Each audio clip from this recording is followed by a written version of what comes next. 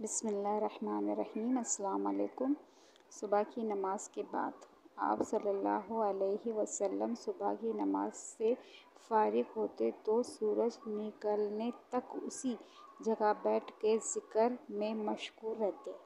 क्या बताया जा रहा है? इस हदीस से कि हमारे नबी जब फजर में नमाज़ पढ़ते तो वहीं पर उसी जगह पर बैठ के अल्लाह का ज़िक्र करते। तो हमको भी इंशाल्लाह ऐसे ही करना चाहिए कि नमाज़ से फारिग हो गए तो हम वहीं बैठ के अल्लाह का ज़िक्र करेंगे।